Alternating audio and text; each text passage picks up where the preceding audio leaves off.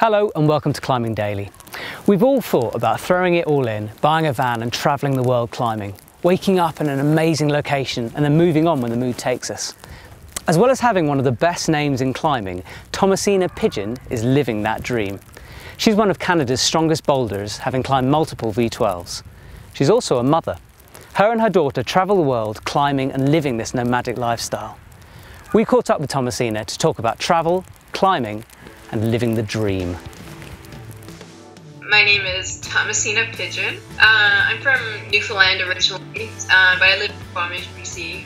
Something about bouldering, it's so simple and easy, and I like the complexities of the movement. You just can have like such a variety of movements in bouldering that you can't really find so much on in routes, but maybe it's just I haven't tried enough routes to discover that. I live in my van full time, and I kind of always have. Even before I climbed, I lived in my van. Like right now, it's winter time. I'm actually house sitting in for a week in Squamish, but after this, we go back into our van. And I think the biggest thing about living in the van that's hard is dealing with the cold and not really having a place that where you can like kind of create stuff or work because it's so small. But I love the freedom of the van, and I love being able to travel with it and have like have a home on wheels. I think I think my climbing life definitely changed after having a kid. Um, but it didn't change as much as I thought it would. Like I thought I would have to just now be at home, go to school, stay in one place.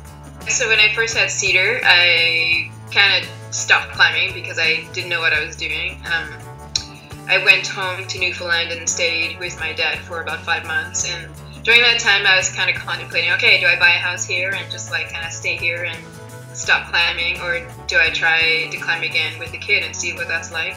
After a year and a half, I decided, okay, we're going. I'm going to climb. I'm going to go back to climbing. And when she was a year and a half, I we went on our first road trip to Bishop. The biggest challenge was just not having so much support and not having a lot of friends that had kids at that time, so they didn't really understand what I needed as a mother and as a climber, and just like to help have support of people around me to help with Cedar. The climbing life doesn't it changes when you have a kid, but it doesn't have to change the way that we would perceive it to change by the norms of society. Um, I kind of make it happen the way I want it to happen, and we homeschool, and Cedar comes with me, and I don't know, she has a very like uh, a different life than most kids, but she's also really has a really rich life, and she sees a lot of things. Your time is more focused when you have a kid. Like when you go climbing, you're more focused because you know your time is shorter um, but it, it's totally possible. When, when Cedar and I do climb together, like uh, it can be challenging because sometimes I just want to climb and then she'll want to climb and have a spot, and so I definitely have to find. I find myself in another situation where I have to compromise. You know, for another person, like okay, she needs a spot, okay, and then I need to climb, so we try to take turns. Um, but yeah, it's interesting because now that she's a little older and she's more, she's a bit more focused. She, uh, I, I think it's fair to say that she's definitely a better climber than me. 2012, I started competing um, because I needed a change in my own climbing. I wasn't really sure what that would be, but it ended up be ended up being comp- comps. Um, uh, the relationship with it is kind of a love hate thing. I kind of I find them really hard.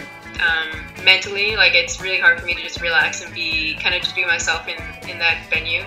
Um, even actually, even when I'm in a gym, I feel slightly off center. Um, but I think this is like a really good challenge for me to get out of my comfort zone.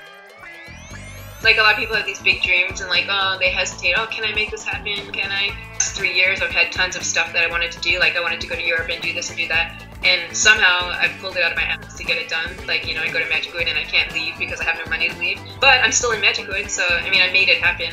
So I think people can make their ideas happen if they just do it. I don't know how. I don't know how.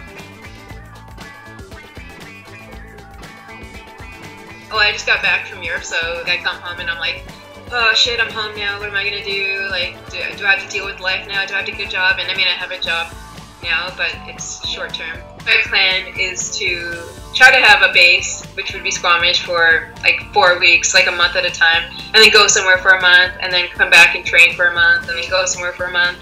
I mean, that's kind of my ideal.